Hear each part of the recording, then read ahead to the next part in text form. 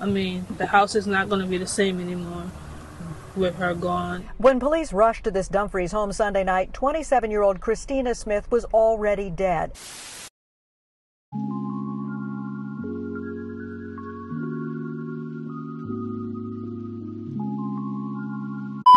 27-year-old Christina Smith was an outgoing and kind-hearted young woman who was known for her love of family and deep love and care for her two daughters. She was looking forward to starting a new job in a couple of days. On the evening of March 13th, Christina and her ex-boyfriend went to the home of an acquaintance to have a discussion that would quickly turn into a heated verbal and physical dispute. Christina's ex-boyfriend immediately attempted to stop the altercation between the two women, who were once friends. Neither Christina nor her boyfriend had a clue that things would quickly turn left. Around 8:10 p.m., police responded to the home on the 4400 block of Whitehaven Drive, where they would find Christina on the porch. Christina Smith was killed yesterday. Her friend, another young mother, is charged with the murder outside a home in Dumfries. At some point during the argument, 34 year old Rolana Latavia Garrett began hitting Christina with a spatula, followed by her grabbing a knife that she would use to fatally stab Christina in the upper body. A witness attempted to save her, but it was too late. Christina was pronounced dead on the scene. Her boyfriend, who was also cut on the hand, fled the scene before police could arrive.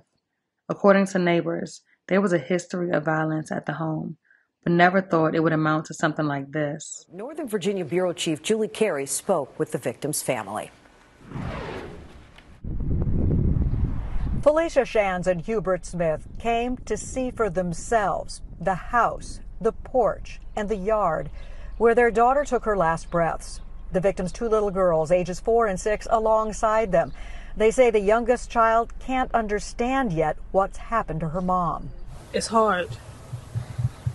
I mean, the house is not going to be the same anymore with her gone. When police rushed to this Dumfries home Sunday night, 27 year old Christina Smith was already dead, a fatal stab wound. This next door neighbor says she and her husband heard the commotion that soon erupted. We heard the, thunder, the thundering or noise.